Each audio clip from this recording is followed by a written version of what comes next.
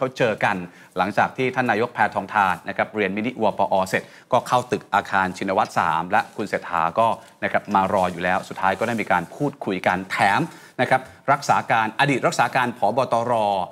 อย่างพลตำรวจเอกกิตรัตน์ก็มาด้วยครับ นี่เป็นภาพบรรยากาศช่วงประมาณบ่ายสองเศษๆนะครับหลังจากที่คุณเศรษฐาทวีสินอดีตนายกรัฐมนตรีเดินทางเข้ามายังอาคารชินวัตร3ผู้สื่อข่าวตอนแรกพยายามสอบถามท่านว่ามีประชุมอะไรไหมท่านก็ช่วงนี้ได้แต่ยิ้มยิ้มครับไม่ได้ตอบอะไรกับสื่อมวลชน สักพักไม่ถึง 15 นาทีครับ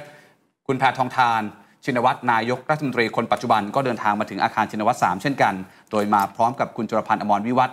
รักษาการรัฐมนตรีช่วยว่าการกระทรวงการคลังที่มารออยู่ก่อนแล้ว คุณหนิมจุลพันธ์เนี่ยมีการกระเซ้าถามแบบเซลล์นายกอิงว่าชินหรือยังกับการถูกเรียกว่านายกรัฐมนตรีนะครับคุณแพทองทานก็ตอบกลับว่ายังไม่ชินวันเดียวเองเออฮะใช่ไหมคะอาจมันจะจะไปชินได้ยังไงใช้เวลานิดนึงมันก็ต้องเขินๆกันบ้างเออขณะที่ผู้สื่อข่าวก็พยายามถามว่านี่นัดประชุมกับคุณเศรษฐาเหรอเพราะเห็นคุณเศรษฐาเข้าไปก่อนแล้วเนี่ยนะครับนายกอิงก็ยอมรับใช่จะมาคุยเรื่องงาน เป็นเรื่องของการส่งมอบส่งต่องานว่าอะไรอยู่ตรงไหนบ้าง ก็คุยเรื่องงานไม่ได้มีอะไร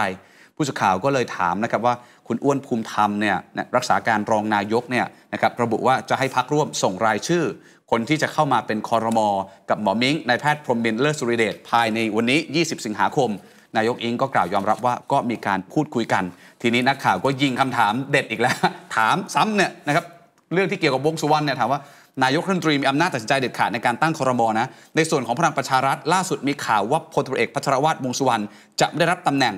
รัฐมนตรีในรอบนี้ นายกบอกโอ้ยยังไม่ได้คุยกันเลยคำตอบก็เหมือนที่พูดไปเมื่อตอนเช้าว่ายังไม่ได้มีการตกลงอะไรกันเลย ถ้ามีอัปเดตเดี๋ยวจะบอก ยังไม่ได้ตกลงกันเลยคำตอบเหมือนเมื่อเช้านี่เลย ยังไม่ได้ตกลงกันเลยค่ะเดี๋ยวเดี๋ยวมีอะไรอัปเดตเดี๋ยวจะมาบอกอีกทีนะแต่ประชุมก่อนวันนี้ค่ะ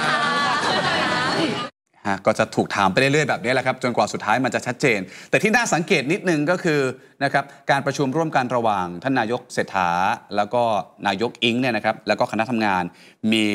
รองผบตรที่ว่ากันว่าตอนนี้เป็นแคนดิเดตตัวเต็งที่จะก้าวขึ้นมาเป็นผบ.ตร. คนที่ 15 ด้วยอย่างพลตเอกกิตรัตน์พันเพชร เดินทางเข้ามาที่อาคารชินวัตร3ด้วย หลายคนก็เชื่อว่าอาจจะมีการ พูดคุยนะครับเรื่องของเนี่ยแหละผบ.ตร. คนต่อไป หรืออาจจะมีการฝากฝังให้มีการปราบปรามเรื่องบ่อนพนันออนไลน์ เรื่องของยาเสพติด หรือว่าแก๊ง scam คอลเซ็นเตอร์ต่าง ๆ หรือเปล่า เพราะว่าต้องยอมรับว่า